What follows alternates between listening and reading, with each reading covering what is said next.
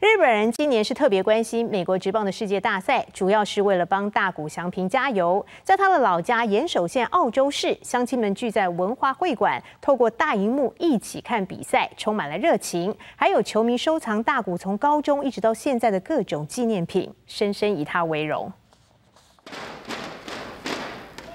不断挥舞加油棒为大谷加油，连大谷曾经读过的幼稚园也有大批小朋友前来助阵。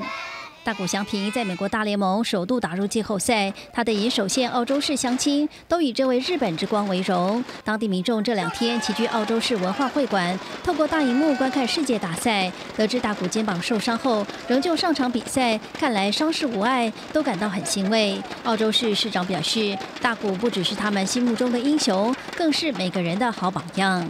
やっぱりすごいなと思うのは。 あれだけの活躍をしながらこう謙虚でいられるとそういうのがやはり皆さんにとってのまあ見本でもありかつまた我々のそのなんていうかな誇りでもありますね地元の。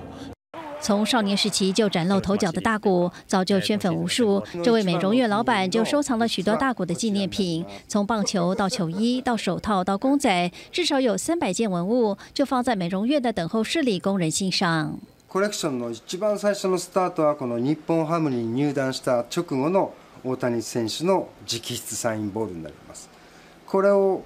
あのお客様に公開したことがきっかけでどんどんこう広がっていったっていう形になっています。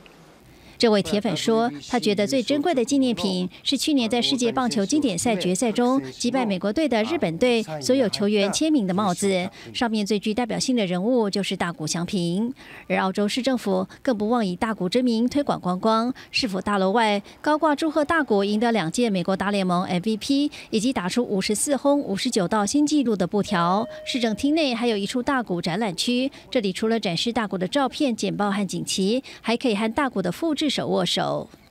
えっとここに握手をするために大阪から朝始発の電車に乗って飛行機乗ってきました。大谷在日本掀起无人能挡的旋风，球迷也希望他早日康复，在世界大赛接下来的场次继续大放异彩。公视新闻综合米编译。